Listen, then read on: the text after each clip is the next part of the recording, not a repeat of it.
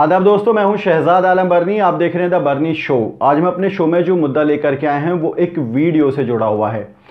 दरअसल भारत के wing commander अभिनंदन का एक वीडियो जारी किया गया था पाकिस्तान की तरफ़ से। ये वीडियो सोशल मीडिया पर इस नाम से वायरल हो रहा है कि अभिनंदन ने रिहा होने के बाद क्या कहा। इस पर हम आज इसकी सच्चाई पर बात करेंगे कि क्या वाकई में रिहा होने के बाद का वीडियो है या ये रिहा होने से पहले का वीडियो है। दरअसल जो हिंदुस्तान पाकिस्तान का बॉर्डर है अट्टारी वाघा बॉर्डर उस पर जो विंग कमांडर अभिनंदन थे उनको रिहा करना था पाकिस्तान की तरफ़ से। एक मार्च 2019 को दो बजे के बाद रिहा करना था। आ, लेकिन उनको रिहा करने में इतनी देरी की गई कि रात के नौ बजकर के बीस मिनट पर उनको रिहा किया गया वहाँ से। पूरा मामला कई दिनों से चर्चाओं में चल रहा है जब से उनको पकड़ा गया था करीब 60 घंटे उन्होंने पाकिस्तान के अंदर बिताए हैं। इस वीडियो में कई सारी खास बातें हैं। कई खास बातें यह हैं कि इन्होंने बाकायदा पाकिस्तानी आर्मी की तारीफ़ की है। वो सच्ची है कि झूठी है इस पर चर्चा अलग से करेंगे। हिंदुस्तानी मीडिया को बाकायदा जम करके लताड़ा है। आ, वो एक अलग इशू है। लेकिन जो सबसे बड़ी बात है वो ये है कि इस वीडियो फुटेज में करीब करीब पंद्रह कट लगाए गए हैं। कट मतलब होता है जो एडिटिंग के दौरान जब किसी दो बातों को एक साथ जोड़ना होता है तो कट लगाया जाता है। बीच में से कुछ वीडियो हटा दिया जाता है, फिर उनको मिला दिया जाता है। इस तरह से इस वीडियो में करीब पंद्रह कट लगे हुए हैं। एक मिनट के करीब का वीडियो है, बट इसमें पंद्रह कट होना अपनी आप में एक बड़ी बात है। इस वीडियो फुटेज को बाकायदा पाकिस्तान की तरफ़ से रिलीज़ किया गया, क्योंकि नौ बज के बीस मिनट पर अभिनंदन को छोड़ा गया था अटारी वाघा बॉर्डर पर और उससे पहले ही नौ बजे इसको पाकिस्तान की मीडिया, पाकिस्तानी फोर्सेस द्वारा इसको बाकायदा मार्केट में ला दिया गया था। अब सवाल ये उठता है कि क्या क्योंकि जब अभिनंदन को नौ बज के बीस मिनट पर तो छोड़ा गया तो फिर नौ बजे ये वीडियो कैसे आ गया? दरअसल इस वीडियो को पाकिस्तानी आर्मी ने ही विंग कमांडर अभिनंदन से इसको बाकायदा रिकॉर्ड कराया था। ये ज़बरदस्ती रिकॉर्ड कराया गया था या उनकी सहमति से रिकॉर्ड कराया गया था, इस पर अभी तक कोई चर्चा नहीं है, क्योंकि विंग कमांडर की तरफ़ से अभी तक इस पर कोई बयान नहीं आया कि जो वीडियो आया था वे ज़बरदस्ती कराया गया था या फिर ज़बरदस्ती नहीं कराया गया था, उन्होंने अपनी मर्ज मर्ज़ी से किया था।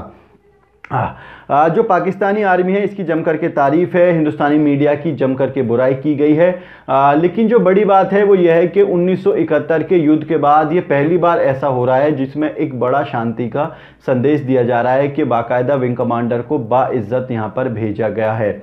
आ, अब सवाल ये होगा देखने वाला कि क्या विंग कमांडर वाकई में जो ये वीडियो आया है पहले मेरे ख्याल से एक बार आपको इस वीडियो को ही टच कर लेना चाहिए। आप एक बार देख लिए कि इस वीडियो में वो क्या कह रहे हैं।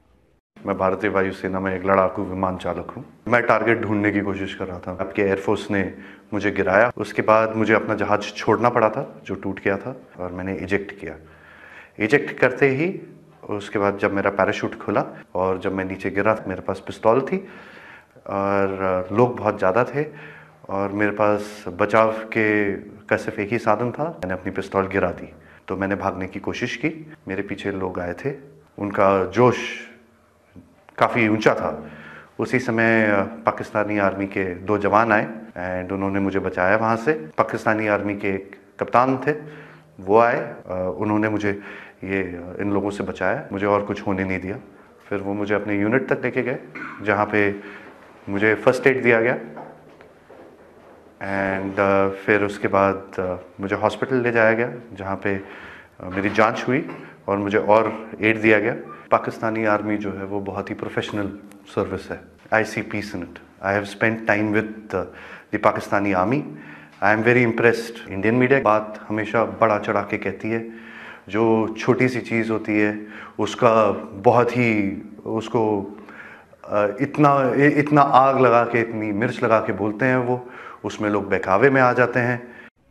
ये है विंग कमांडर अभिनंदन वर्धमान, जो मिग 21 बेसोन फाइटर प्लेन के पायलट थे और बाकायदा पाकिस्तानी जहाज़ का एफ़ सिक्सटीन का पीछा करते हुए ये पाकिस्तान में जागिरे थे। इनके फाइटर प्लेन को शूट कर दिया गया था। उसके बाद अपनी जान बचा करके ये वहाँ पे रहे। उसके बाद आर्मी ने इनको अरेस्ट कर लिया था और उसके बाद के सारे घटनाक्रम हुआ है। बहरहाल, अभी वो सुरक्षित अपने देश आ चुके हैं। जब तक कि अपने देश में आकर के उनकी कोई प्रेस ब्रीफिंग नहीं आती, तब तक जो हकीकत है उसका पता नहीं चल सकता है कि वाकई में वहाँ पर क्या हुआ था क्योंकि वही बता सकते हैं बेहतर कि क्या हुआ था।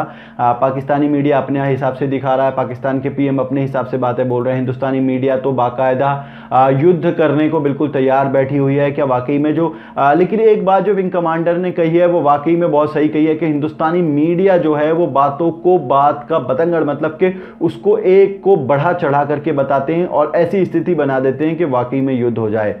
आ, क्या वाकई में मीडिया जो है इस तरह का काम कर रहा है? लेकिन जो विंग कमांडर की वीडियो आई है ये वीडियो उनके आने के बाद की वीडियो नहीं है बल्कि ये पाकिस्तान में ही आर्मी द्वारा शूट की गई थी। आज के प्रोग्राम में इतना ही। हमारी आपसे दरखास्त है कि इस प्रोग्राम को शेयर ज़रूर करें और हमारे चैनल को सब्सक्राइब ज़रूर करें और आप हमें ट्विटर पर भी फॉलो कर सकते हैं at the rate Shahzad Barni पर जाकर के आप हमें ट्विटर पर फॉलो कर सकते हैं। बहुत बहुत शुक्रिया।